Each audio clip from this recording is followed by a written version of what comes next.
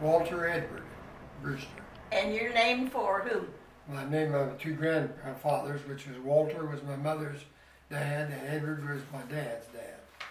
Okay. And my dad's dad worked in Washington D.C. and he passed away when my dad was seven years old. But Wow. he- he when he was seven, Yeah, he could add three columns of figures and come up with a total. he had a real mathematic Yeah. brain, didn't he? Yes. Um, what did he do in Washington? I don't know. And this would have been your great grandfather? No, my grandfather. Grandfather. Dad's dad. Dad, okay. Your grandfather Brewster Yeah. worked in Washington. Yes. In what department? Do you know? I don't know where You know? I don't know where he worked. I probably knew one time. If I did, I forgot. okay. But do you know if it's the government or? Yes, it was with the government. I know In the that. government, U.S. government then. Okay. Um, and um, uh, what year were you born in? The same as you, 33. Blabbermouth. I was gonna say I'm the oldest one here, but I guess I'm not. Well, I was born in April. When were you born? April 8th. I was born the 30th, so you're. Oh, I'm older than older you are. Oh. okay. Um, now, what about your wife's uh, family names? Uh, I don't know too much about them. She was a Johnson. from- Johnson, From, Carol- Flo- from Flora. Carol Johnson from Florida. Yeah. All right. And uh, um, what other family names? Do you have any of her grandparents? Or Uh, she's, her mother was a Snyder. a Swiner? Snyder. Snyder. Okay. A lot of those around. Aren't there, Sherry? They- Yeah. I think she's up around Deer Creek at that time. the Okay, Deer Creek. were. All right. And um, uh, is there anything you'd like to tell us about her? Uh, Uh, I had a good wife for 64 and a half years. wow, 64 and a she just passed two and a half years ago. Yes. And I sure miss her. Oh, I'm sure you do. You just don't ever get over missing them, do you? She was a runner-up in the Miss America pageant. and Was the first runner-up in the Miss America pageant. In the Miss Miss- America Yeah, from Miss Indiana. from Miss Indiana. Yeah. So she was Miss Indiana. No, no, she was runner-up of Miss Indiana. She was in the Miss America pageant, but when the first day had to, you had to go to the states. Oh, I She see. was- she so was- she made it to first runner-up in the Indiana Yeah, she was Miss Miss Logansport. Indiana. Miss Logansport. And then she went to the Purdue. She was a, she was quite a singer. She could really sing well, and uh, she sang uh, "No Other Love." She And, uh, sang what? "No Other Love." No other I love. think she sang that to me. We weren't married. Oh, that's wasn't why she did yet. such a beautiful job. We wasn't married yet then. So that was her talent when she competed in the Miss Indiana. Do you know what year that was? uh, probably, I'd say, fifty-two, something like that. We went together. About the year we graduated, the year after we graduated Yeah, yeah, fifty-one. from high school. Yeah. Okay, well, we all knew Carol and loved her and know that she had a beautiful voice. And she led your church choir. Yeah, she, well, she was the head of the uh, song leader for, ever since we come back in the service. I was in the Korean deal, never was in Korea, I was in the Okay. Korean War. Uh, tell me about that because I did not have that down as one of my questions. So you served in the Army, Yes. a U.S. Army, and you served in No, during the Korean War During the Korean War, I was at Fort Hood, Texas. at Fort Hood, Texas. Mhm. Okay. And uh, what were your duties? Uh, I went through at uh, Fort Benjamin Harrison Yes, as clerk typist and steno. Typist and steno. Uh, But like, and then so they removed, when they moved me to Fort Hood, I was to be the steno for a bird colonel. Really, well, really a nice guy. Because I went in and told him, I said, I cannot take shorthand. He said, well, you went through school for it. I said, sir, let me tell you how it was done. There was, uh, what's the college in Indianapolis? Well, the IUPUI, one's been there forever. Marian, I was trying to think of that. Marian, No. no, Indiana Business Business College? It has a big auditorium. Herron? No, wait, Butler? Butler. Butler, yes. There was a lady who had come to our place, we had a typewriter in front of us, and she would give us a dictation, and we were to take it in shorthand, and then she would leave. Or we set up big picnic tables, so like if I started, and I'm one of these people that's a perfectionist, I didn't, I couldn't do this. Oh my! I just drew. yes. So it didn't take me long to get behind. So then I'd hit the guy beside me and he'd start there. and he hit the guy beside him, and he'd start there. But when she left, she was gone. We just to type it up, and lay it back on her desk. So we just all get together, put in what part we had, and and the, the colonel was tickled. He he said, "Well, what do you want to do?" And I said, "I'd like to go back to Indianapolis to uh, finance school." And uh, he said, "Okay, we'll do it." So the jeep come pick me up, took me down to someplace, and two warrant officers were there. And oh, they got on me about right. They said, "Hey, you've been through three schools now: basic training, clerk, typist, and steno, and you haven't got. You're only here for two years, so we can't send you back to another school." So they sent me down to a, a typing pool, and I was a good typist. And uh, it was all ladies, except the major who was the head of it. But there's these ladies, and the older lady to come, she says, I'm not going to have you type. I said, I can type, fine. She says, Yeah, but you don't get paid like they do, Oh, so you don't have to type. You, so I wheeled myself from desk to desk and proofread what they type. oh, mm-hmm. So I had a good job. Yes, you did. I liked Yes, it. Yes, you did. And then Carol, So- Carol came down. Her dad brought our car and her down.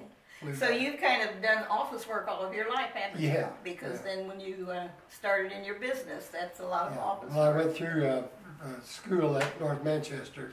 I was wanting to be an ad, uh, CAP, CPA, CPA. So you're a C- Yeah. licensed I CPA. didn't all want nothing to do with insurance, because I thought that killed my dad at 58 years old. He worried so much about everybody not being satisfied with a claim. Well, and just worry me walk the floor at night and I'd say, Really? Mother, why was dad up last night? Well, somebody wasn't satisfied with their claim. I didn't want nothing to do with that. But then he had a heart attack when I had two months to go into service yet.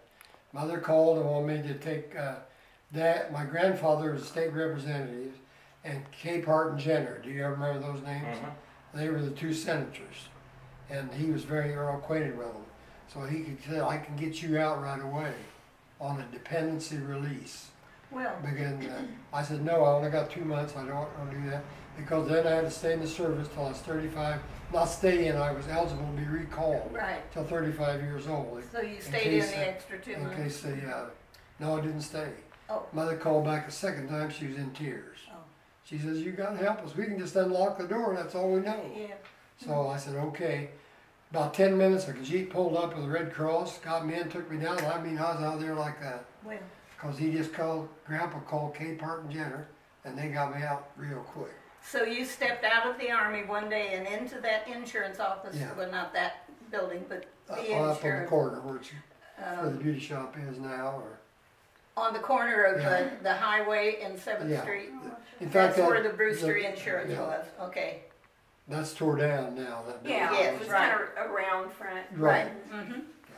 Yeah. So you stepped right into the insurance business Yeah. and been in it ever I since. didn't want nothing to do with it, but I was there, and I was there Well. 50, 50 years. Yes, and uh, 15 years. I really, really enjoyed it. I, I'm not a speaker in front of a group of people, but I love to deal with people individually.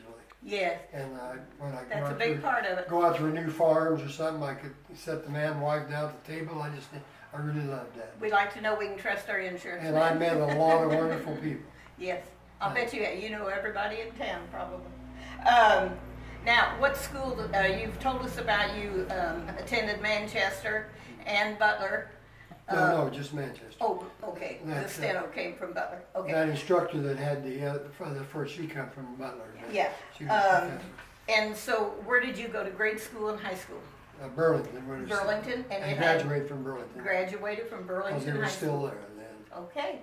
Um, do you re- what our memories do you have about the school? Do you remember when it was built or when they added on or No, they, uh, they added the gymnasium on, but okay? that was before I even remember that. D- Was that upstairs? No, No, it downstairs. was downstairs. It was on the north end, Okay.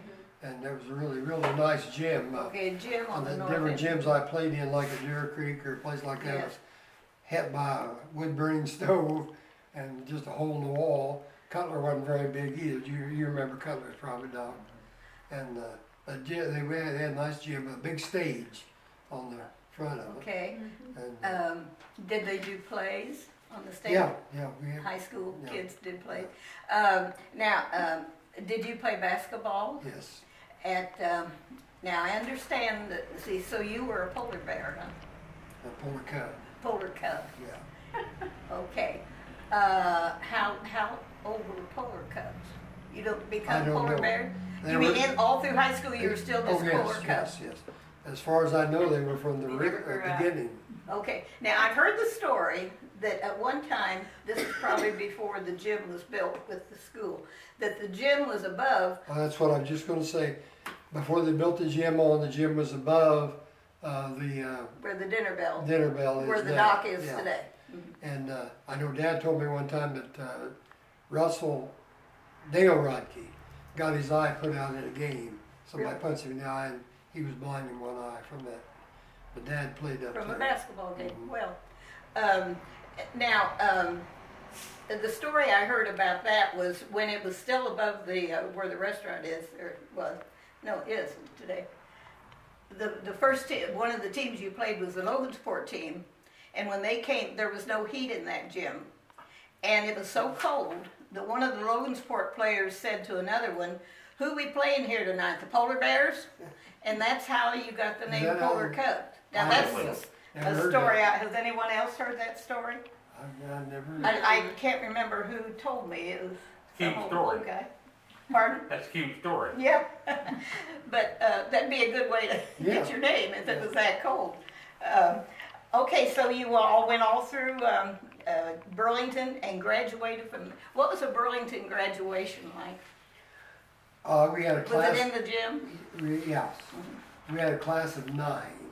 You had nine in your class. Nine. The- Okay. The only other class that was smaller than ours was the first graduating class was five. Well, And uh, Joe Patty and Howard Moore. And, Okay. and all of us, we still do it. I seen Howard do it just a while back. We, he, he introduced me to somebody and he said, uh, Ed and I were in the top ten of our class. I you, you were. yeah, there were only nine of And you. you always tell them, well, it's just nine, so. Joe Patty loves to use that, that top ten. But we How many? had uh, five boys and four girls. Yeah. Well, we ought to get you and Joe and Howard together sometime. Um, um, we'd never get a word in edgewise, but I'm, I'm sure we would enjoy what we hear. Yeah, you Joey, you never would get that. Yeah, right.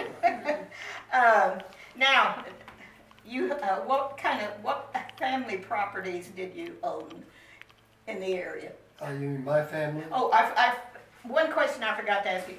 When, when your family first moved to Burlington, where did they move from? You know, the Brewsters. The first place I remember that, when I was born, I was born up at my grandpa's house in Ervin Township. Urban oh. Township. I wasn't born in the hospital, I was born up there. But at that time, my folks lived where Becky Adams lives, now right across from